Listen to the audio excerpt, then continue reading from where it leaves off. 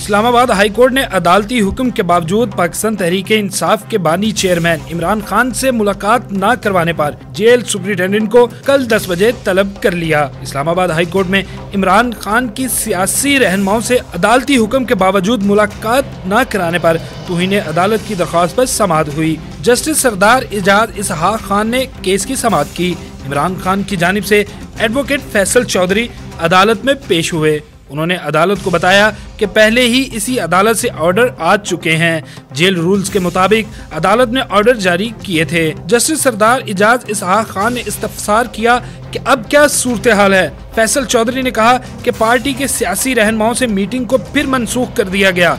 हम बार बार इसी अदालत को तकलीफ़ देते हैं, लेकिन मजबूरन हमें यहाँ पर आना पड़ता है।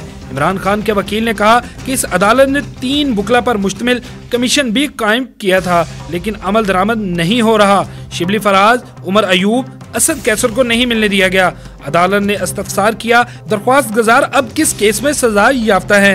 जिस पर फैसल चौधरी ने कहा दरख्वास्तगार किसी केस में अब सजा याफ्ता नहीं, अंडर ट्रायल कैदी हैं। अदालत ने रियासती वकील से इस्तफसार किया कि क्या वजह है? बार बार ऐसा होता है। हमारे ऑर्डर के बावजूद अगर पटिशन आती है तो हमने लिखा था कि स्टेट पर जुर्माना आयद होगा। दरख्वास्त गुजार के वकील ने इस्तः की कि अदालती हुक्म की खिलाफ वर्जी पर तुहिन अदालत की कार्रवाई की जाए। अदालत ने समात मुलतवी करते हुए सुप्रिंटेंडेंट जेल को कल दस बजे तलब कर लिया।